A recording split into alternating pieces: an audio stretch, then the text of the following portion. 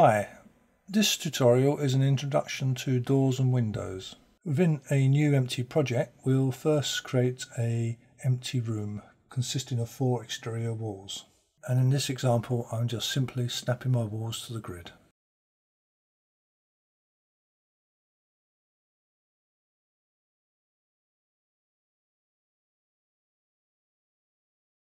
The window tool is located in the building tab in the construction elements group. You will see that there are in fact two entries, window construction and window. We'll use the window construction tool, which is the version based on window macros. The earlier window entry is based on window objects. This has been supplied just for compatibility with older projects. We always recommend you use the window construction tool here However, you are able to use the window objects if you wish. After selecting the window tool, just move the cursor over a wall and you'll see that the cursor changes to a, a window object. The arrow indicates the opening direction of the window. This can be changed by moving the cursor closer to either the outside or the inside edge of the wall. When the window is in the position you require, just left click with the mouse. You can also use the 3D view to place windows, however it's always a lot easier to do in the 2D view. The number by the window, in this case 0.9 meters, is the sill height of the window. Normally this number is on the outside of the window, so if you see this number on the inside of the window, it's a good indication that the window is in fact inside out. You can easily rectify this by right clicking on the window and from the context menu select change direction. To change a window style, select the window and then double click it. The window construction properties dialog will then activate. In this dialog, you can select the Windows catalog and choose a different window type. In this dialog, you can also change other details such as the window sill height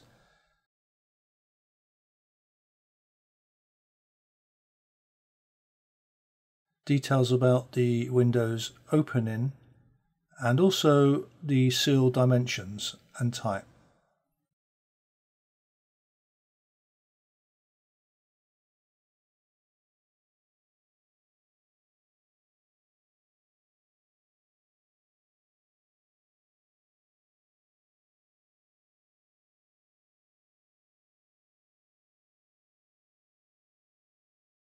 We'll also now look at the other Windows type based on Windows objects. Right-clicking on the Windows tool entry will also activate a Windows Properties dialog. This dialog gives you access to a different Windows catalogue. These windows are actually based on Windows objects.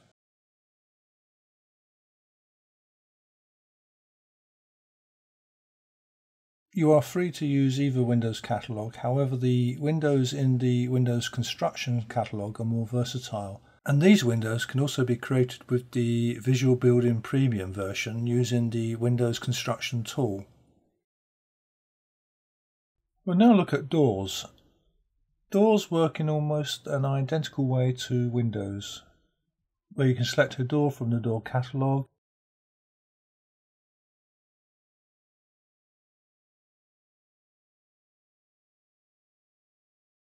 change its width, its height, and also its sill height.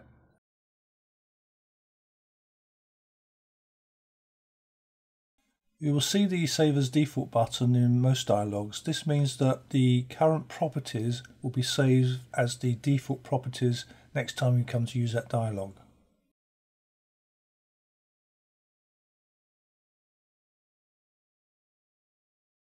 As with Windows, when placing a door in the wall, the opening direction arrow displays.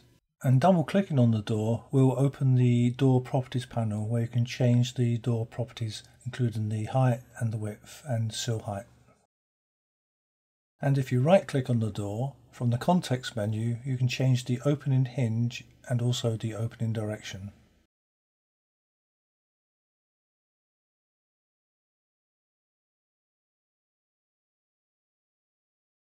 Just prior to placing a door, if you right click, you can activate the context menu from where you can actually select constructional support. This gives you a set of tools where you can actually place the door central between two points or at a specific distance from a set point.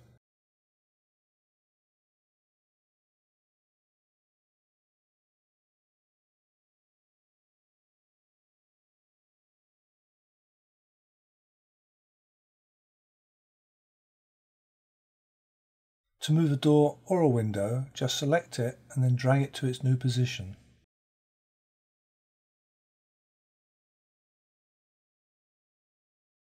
You can also use the wall cutout tool to create a cutout on the wall to create a doorway which does not contain a door object.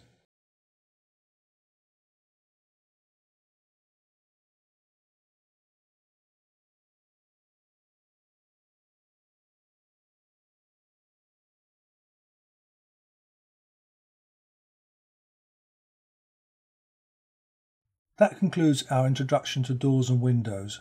Look out for our intermediate tutorials concerning the editing of doors and windows and also the more advanced tutorial using the Visual Building Premium version Windows Construction tool.